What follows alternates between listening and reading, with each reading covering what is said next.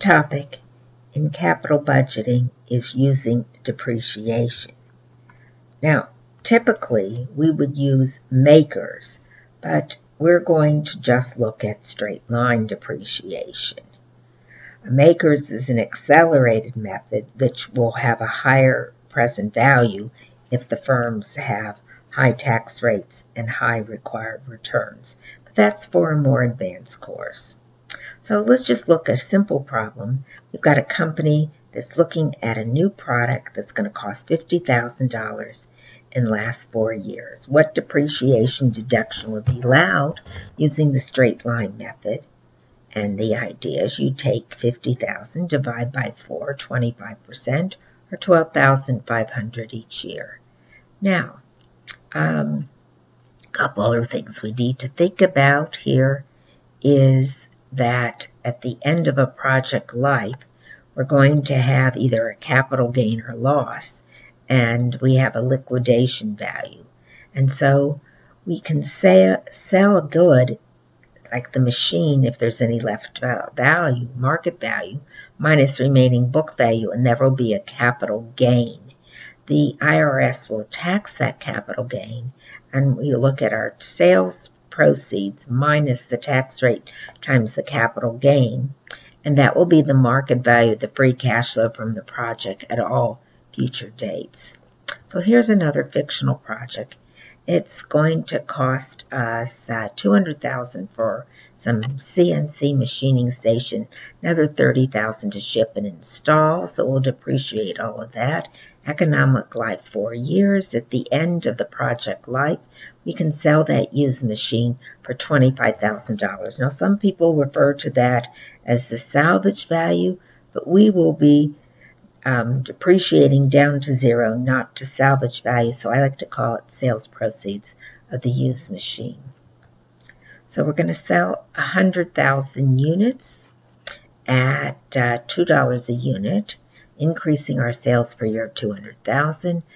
Unit costs, our cost of goods sold and any selling expenses will be 60% of our sales price or 120,000 a year, and we're going to need some net operating working capital of 20,000 a year. We can finance the sum of it with accounts payable or increased inventory.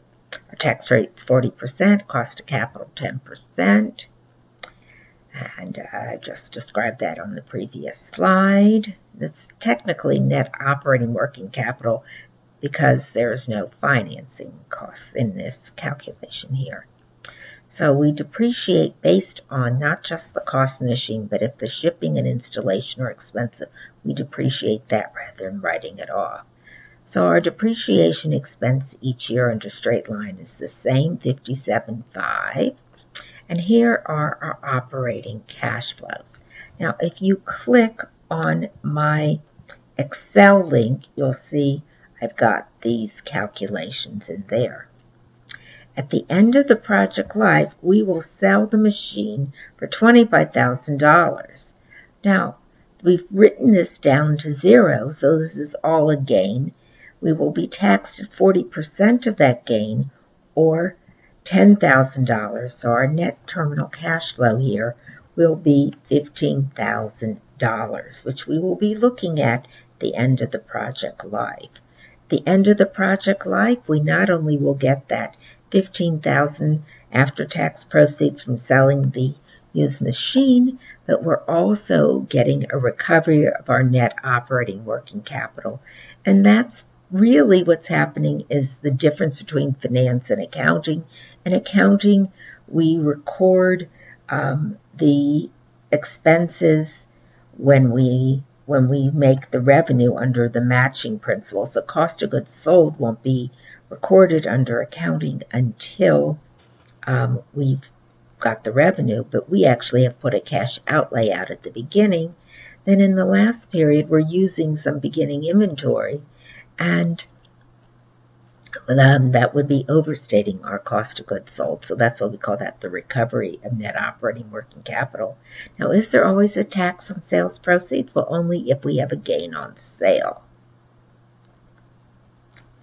So what will be our cash flow? So we said it's 71,000 each in our operating cash flows. and another 35,000 end of project life, or 106,000. We'll look at it in the Excel.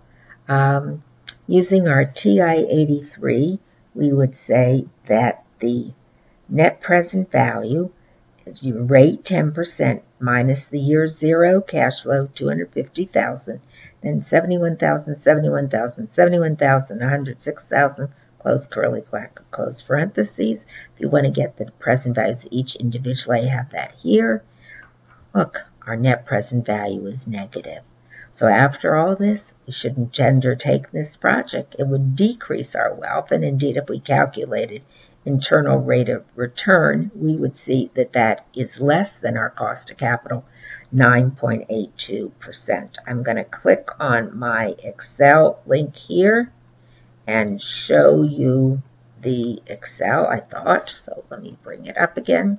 And here is the Excel, and here is my calculation. Now, if you use um, the Excel to calculate NPV, you actually are using it, remember, to calculate the present value of the cash flows, and then you must subtract that initial expense in year zero. So the NPV is calculated based on the present value of the cash inflows, then subtract the cash outflow. IRR uses all of them. Of course, all the cash flows, including year zero.